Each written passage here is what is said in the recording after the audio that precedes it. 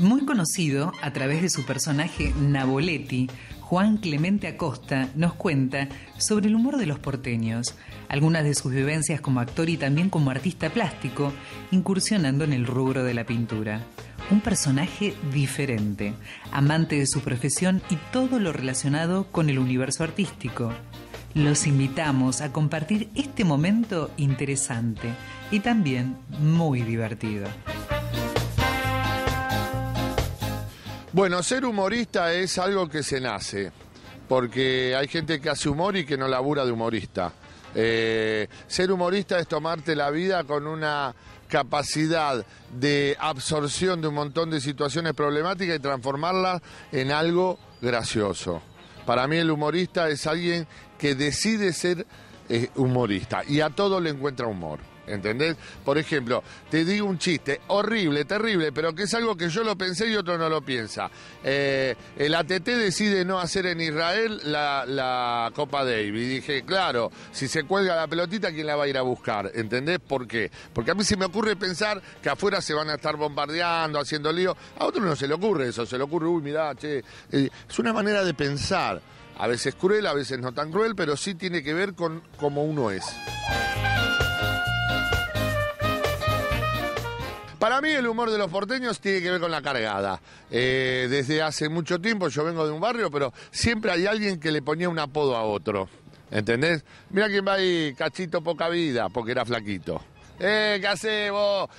Esa cosa que tiene que ver con, con, la cargada es muy humor porteño. También hay un humor que tiene que ver con la ciudad, que es lo relacionado a situaciones de la ciudad en relación a, qué sé yo, bueno, alguien que le gusta la bicisenda hace un chiste a favor y otro hace un chiste en contra.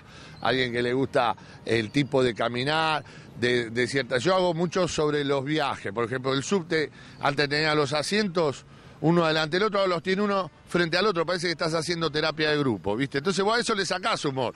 Estás sentado mientras está vacío, el tipo no pasa nada, pero cuando se llena va avanzando hacia vos, de pronto tenés un bulto acá. Vos decís que hago, muerdo, respiro. Eso ves, tiene que ver con la ciudad y tiene que ver con, con el humor que yo observo, con los colectivos, con, la manera de, de hablar por teléfono. Digamos, el humor porteño está más relacionado a eso.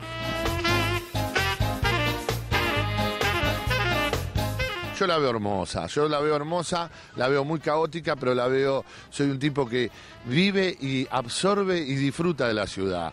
A mí, yo siempre digo, más lejos de Babieca es lejos para mí. O sea, ¿por qué? Porque me gusta disfrutar del centro, de la gente, del tránsito, del caos. Después, en general, me gusta todo lo que está relacionado con la gastronomía, con el salir. Hay lugares bellísimos. Yo disfruto Buenos Aires.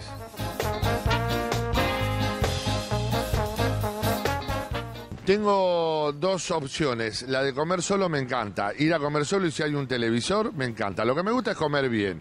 Y si es comer bien y a un precio accesible, mejor. Entonces tengo mis posibilidades. Después voy a comer con amigos a diferentes lugares. Después me gusta mucho la pizza, soy un catador de pizza, pizzero adicto y, saboreo todo lo que tiene que ver con ese mundo. De diferentes pizzas, de diferentes lugares de la ciudad. Me voy a toda la ciudad a, lugares de pizza que me encantan, ¿no?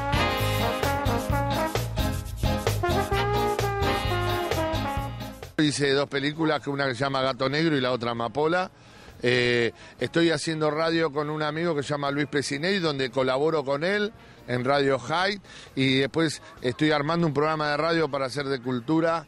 Este, estoy haciendo eh, televisión en un canal en Canal A pasan un ciclo de arte que tiene que ver con maestro de la pintura, después en Argentina satelital en un programa que se llama Por Más, con Santiago Cuño y Nora, Abrioso. Este, sí, pinto también y me gusta mucho la pintura y la verdad eh, es algo que está relacionado con que me gusta vivir como un artista. O sea, pinto, toco la guitarra con música. Esa es mi realidad y es como la de cualquier otro. No mucho mejor ni peor que otra. Bueno, te agradezco, total sé que van a editar las partes que digo malas palabras y chivos, pero... Pero bueno, de todas maneras, no va a ser lo mismo. ¿eh? Dije cosas que se van a cortar. Chao.